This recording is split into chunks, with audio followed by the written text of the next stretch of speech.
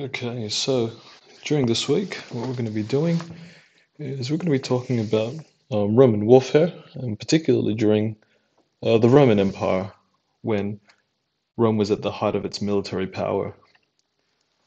So, how do I learn about this? Um, the way that this uh, set of um, videos is done is that it's broken into three parts.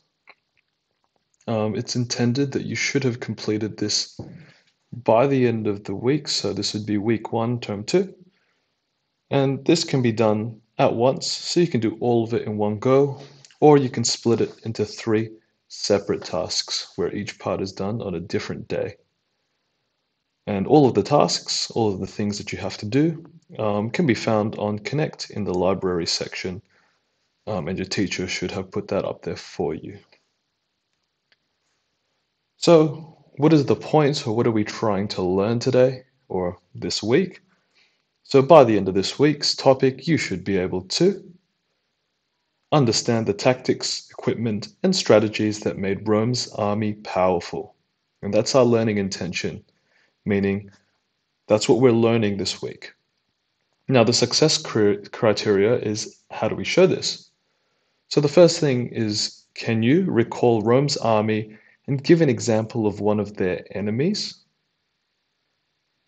The second thing you should be able to do by the end of this week is you can recall a legionary's equipment and explain its use.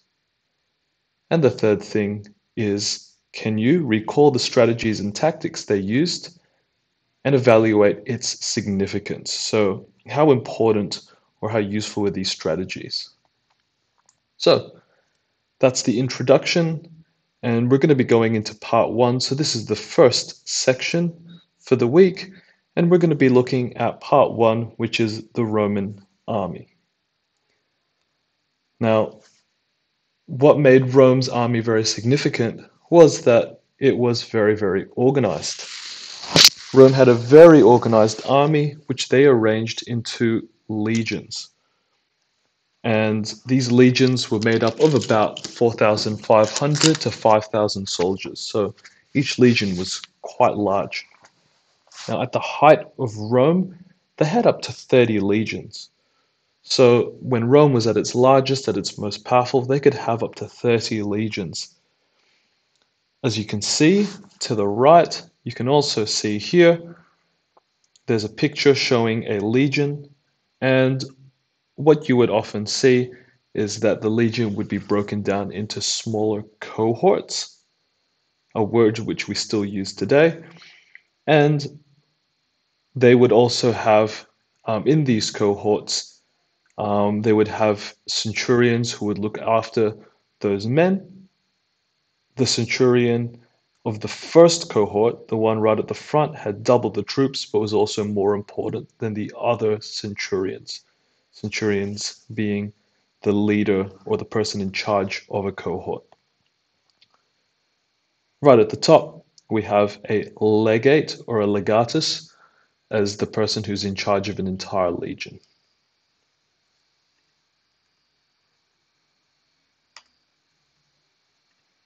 Now, Rome, Roman soldiers had a very high level of discipline. This put them um, very differently to many of the other enemies that they had to face during the Roman Empire.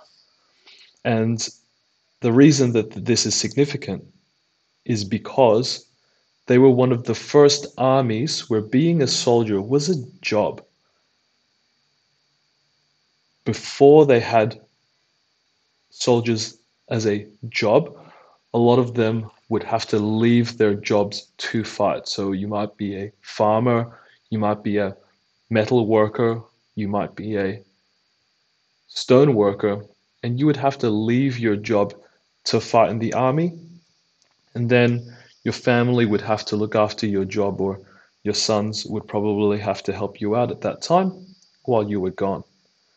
Now, Rome changed that by paying their soldiers regularly. So you didn't have to be a farmer. You could fight and training was being paid for. So if when you trained, it was working as a soldier and you would be paid. But this meant that their training was very, very serious. They took it seriously. So, trained and disciplined soldiers was considered being part of the job. And that also meant that they could live, train, and they could fight together. So they built very, very good strategies in communication because they were being paid professionally. This was their job. They took their training seriously, and they also had to live, work, and train with the people that they were fighting with. Now, why did Rome need a powerful army? It's because Rome had many enemies. So, Rome, the Roman Empire, was very, very big. That meant that they had many borders where they had lots and lots of neighbors. Now, that means that Rome would be under attack or have people try and invade and take their land. And it didn't help that Rome was quite aggressive and liked to conquer other lands, which means that they had lots of people who were enemies of Rome, who didn't like Rome. Now, the Romans would call enemies who were not Roman, not Latin speaking, which is the language that they used back then, and they didn't like these people and they called those people barbarians. So if you were not a Roman, you didn't speak Latin, then you would be considered a barbarian, which meant that you were uncivilized and you were considered um, a bit lower than a, than a Roman person. As you can see here on the right, we have a picture of a Roman legionary, a Roman soldier, fighting uh, a Celt, which is one of the enemies near sort of the British area where Rome used to fight. And then that's kind of how they would dress up. So they would consider these people barbarians. Okay, so this is the end of the information for part one and then it always finishes off with a task. So, for your task to revise what you've just gone over, is you are going to be completing the Enemies of Rome comprehension task, which is on Connect. And it talks about the barbarians and the history of the Roman Empire and some of the enemies that they had at different points, from when Rome was a kingdom, Rome as an republic, and then eventually Rome as an empire. So, what you have to do is you have to read the passage and then you're going to answer the questions. You're going to read the information, answer the questions. Some of the questions may involve information from different parts of that passage. So, for one or two of those questions, you're going to have to read quite carefully and make sure that you understand what you're reading. If you are finding that tricky, then I would suggest using a highlighter to pick out the keywords that you don't understand first, and then going onto the internet and just making sure that you Google those words so you know what they mean.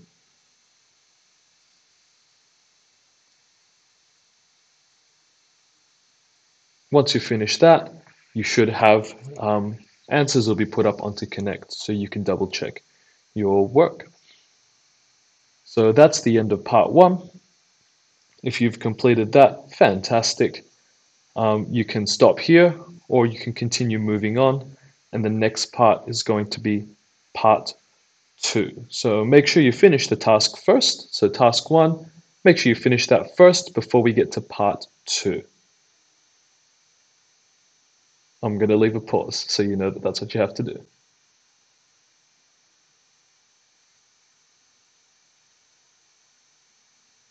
Cool. So, hopefully you found the task um, okay. Now, for part two, we're going to be looking specifically at the Roman soldier, which we call the legionary. Now, the legionary is a very significant soldier for its time, and we're about to investigate why. So, the legionary was the name of a Roman soldier, and they were very successful for their time. So if we watch this video here, that's going to provide us with some more information about the Roman soldier.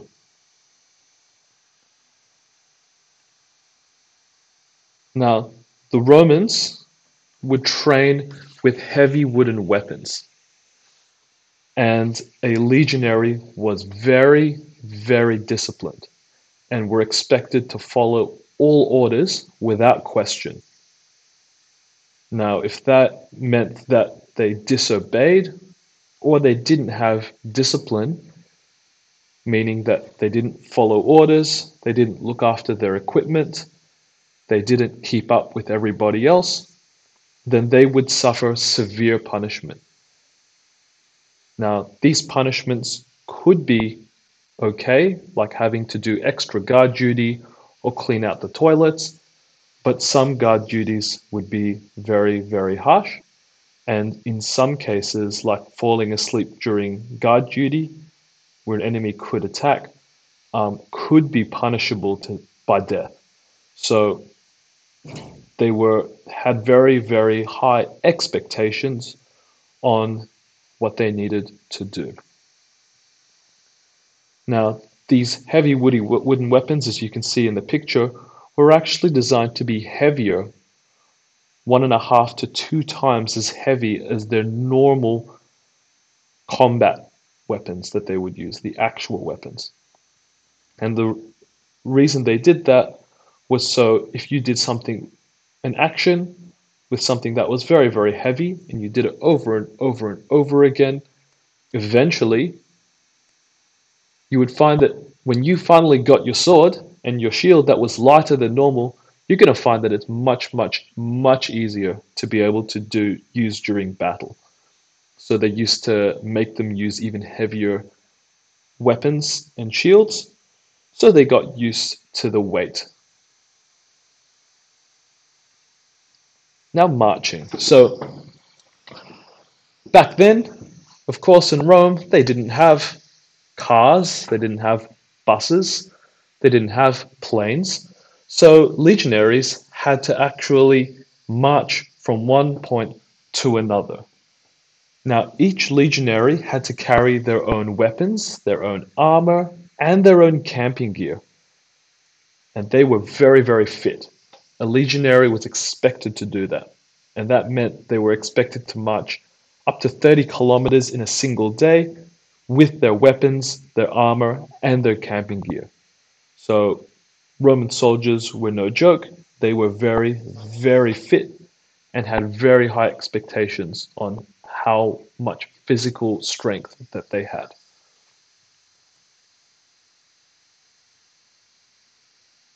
So that brings us to the end of task two.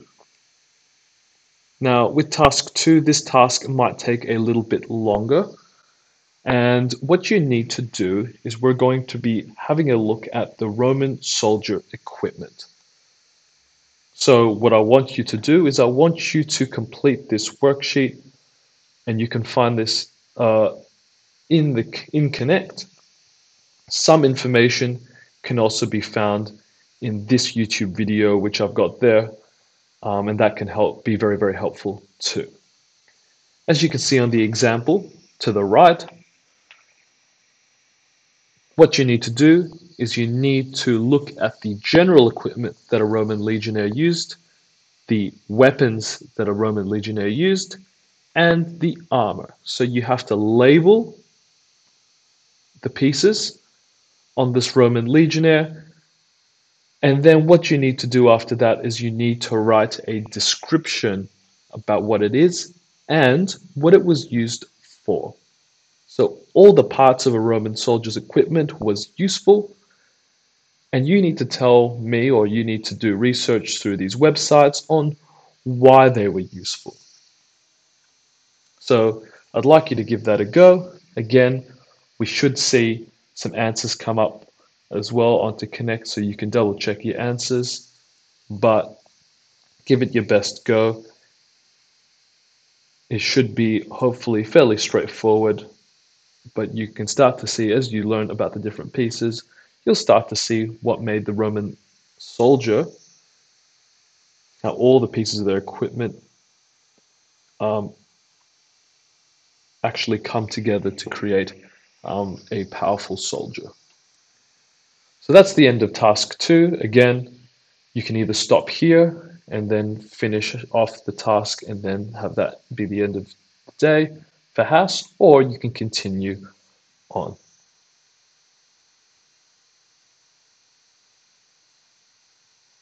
Okay, this is the last part of the Roman warfare topic, and we're going to be talking about the tactics and strategies that allowed Rome to destroy its enemies and defend its borders. Now, I've spoken in the last part about Roman discipline and how important it was for Roman soldiers to have discipline meaning that they followed orders uh, absolutely, they'd look after their equipment and their gear, but it also meant that they knew when they were fighting an enemy that they wouldn't panic. They knew they had a job, and that job, if they did it properly, would probably see success for the entire army. So they were trained in special tactics. Tactics are ways that you can beat the opponent by moving your soldiers around the battlefield or picking a way that you want to fight that everyone agrees on. This meant that every single soldier knew what their job was. And these tactics would allow them to beat their enemies even when they were very outnumbered.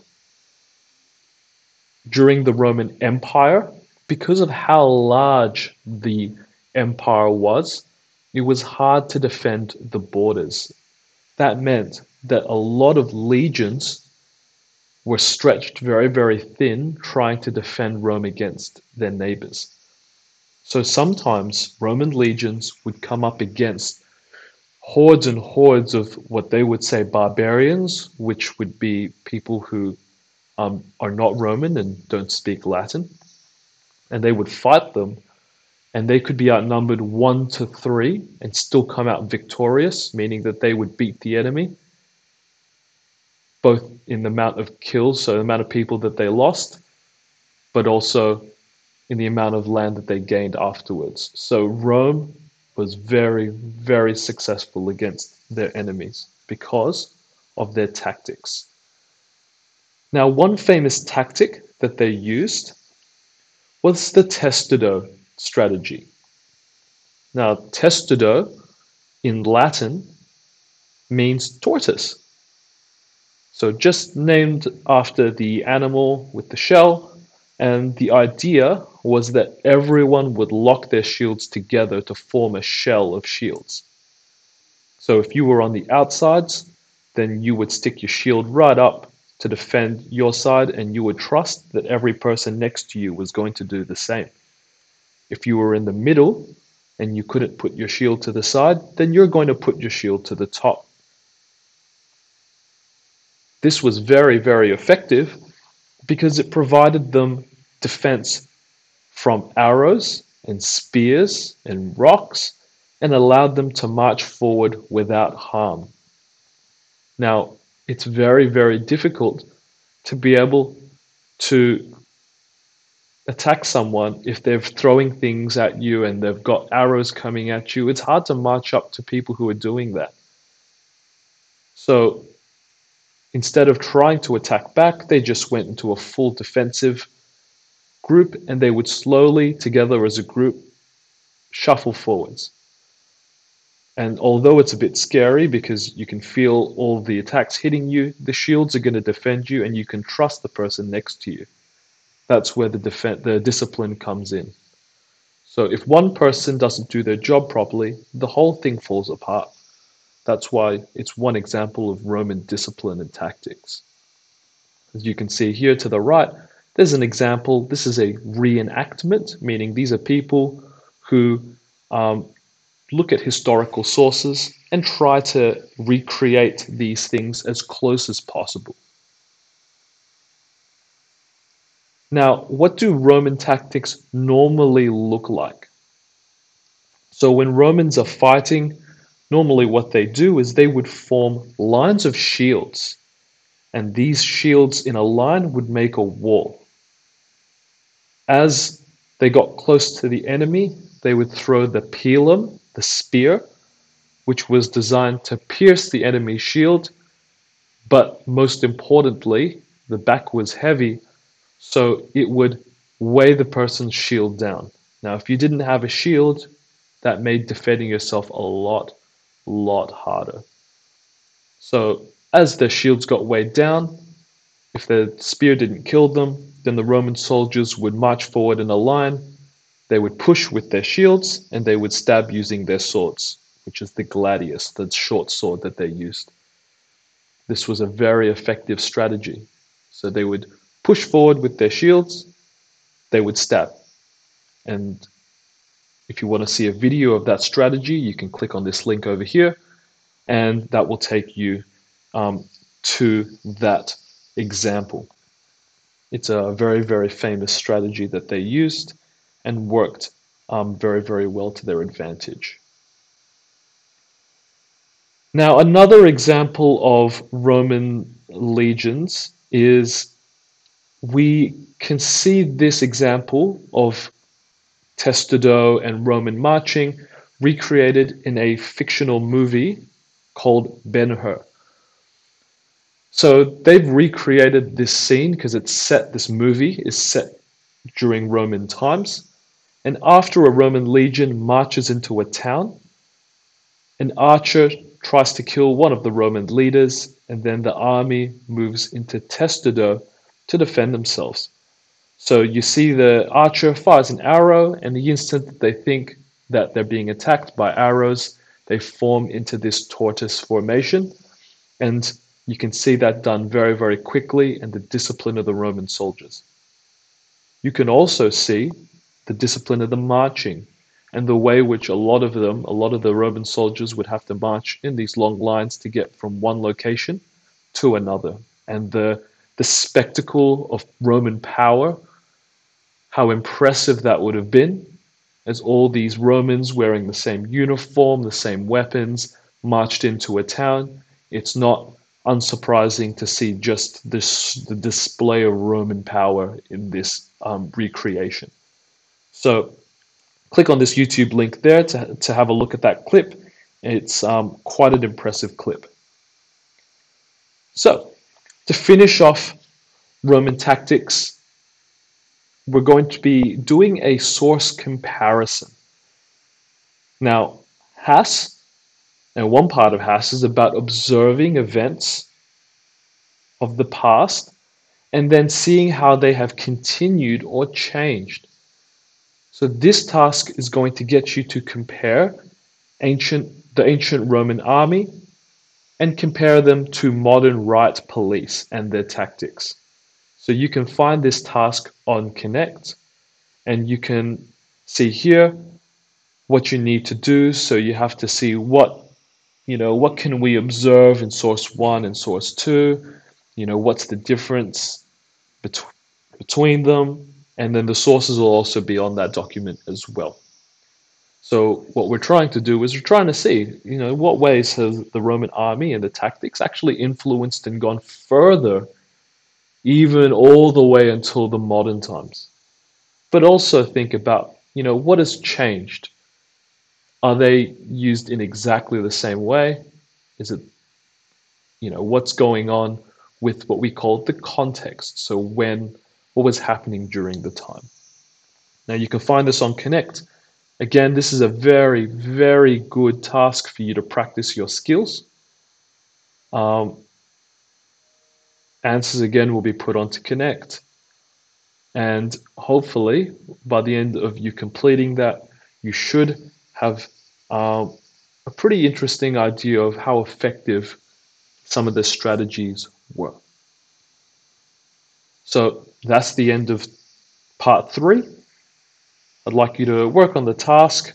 Just before we do that, though, we're just going to double back and just make sure have we, by the end of this week, done these things? Have we understood the tactics, equipment, and strategies that made Rome's army powerful? Hopefully, you have. After looking at part one, Rome's army, part two, the Roman legionary, and part three, Roman tactics. And then hopefully you've completed the tasks and you can say how you've shown how you know this. You can recall Rome's army and give an example of one of their enemies. Hopefully, you can recall a legionary's equipment and explain its use. And hopefully, you can recall the strategies and tactics they used and evaluate its significance, say why it's important or how it's impact, how it's been impactful for people further down towards more recent history. So hopefully you found this very, very useful into the topic of Roman warfare. If you have any things that you don't understand or you're not sure about, you can always go back to the PowerPoint. You can always have a look and you can always send an email um, to either myself or Mr. Atkins, depending on who your teacher is, and we can definitely give you a hand. So hopefully you are giving this a good go. Fantastic that you've uh, sat down to, to try this out and hope you have a great week.